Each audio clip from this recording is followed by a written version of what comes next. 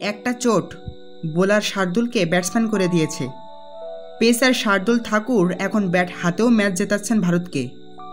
ওভালে দুই ইনিংসে অর্ধশত রান করে ম্যাচের সেরা হওয়ার দাবিদারও ছিলেন তিনি। উনত্রিশ বছর বয়সের এই পেসারের জীবনটাই পাল্টে দিয়েছিল একটি চোট। এক সর্বভারতীয় ইংরেজি সংবাদপত্রকে দেওয়া সাক্ষাৎকারে শার্দুল বলেন, দু বছর আগে আমার গোড়ালিতে চোট লেগেছিল।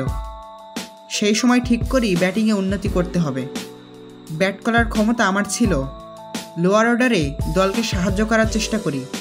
ভারতীয় দলে যখন ফিরে আসি, তখন থ্রো ডাউন বিশেষজ্ঞ রঘু এবং নুয়ান আমাকে অনুশীলন করাতো। প্রথম দিকে ওদের বিরুদ্ধে ব্যাট করতে পারতাম না। ফুটওয়ার্ক ঠিক করার চেষ্টা করতাম। ধীরে ধীরে আমার ব্যাটিংয়ে উন্নতি হলো। এখন অবধি চারটি টেস্ট খেলে তিনটি অর্ধশত করেছেন শার্দুল।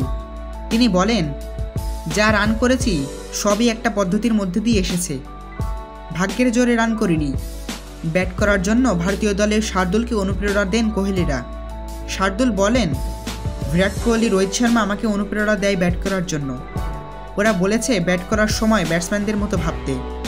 একবার মাহি ভাইয়ের ঘরে ওর ব্যাটটা নিয়েছিলাম। ও বলল, খুব উপরে ধরেছি। ঠিকমতো শট মারতে হলে নিচের দিকে ধরতে হবে। এখন আমি সেইভাবেই ব্যাট ধরি। ব্যাট করার সময় খুব বেশি ভাবেন না শার্দুল। এটাই আত্মবিশ্বাস দেয় তাকে। শার্দুল বলেন, ব্যাট করতে নেমে খুব বেশি ভাবি না। আমার ছোটবেলার কোচ দীনেশ লাট বলেছিলেন, খুব বেশি ভাবলে ব্যাট করা কঠিন হয়ে যায়।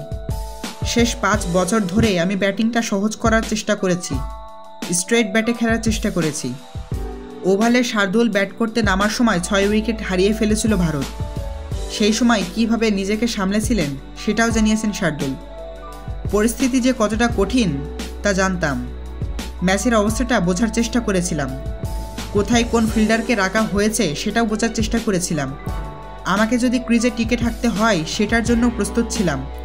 প্রথম ইনিংসে ব্যাট করার সময় ঋষভ পান্ট যতক্ষণ ক্রিজে ছিল, ততক্ষণ কোনো শট খেলিনি। পন আউট হয়ে যাওয়ার পর নিজেকে বলি, রান গুরুত্বপূর্ণ। আক্রমণাত্মকই তখন সেরা অস্ত্র মনে হলো? সেটাই করেছিলাম। Sadikul Islam Reza WhatsApp cricket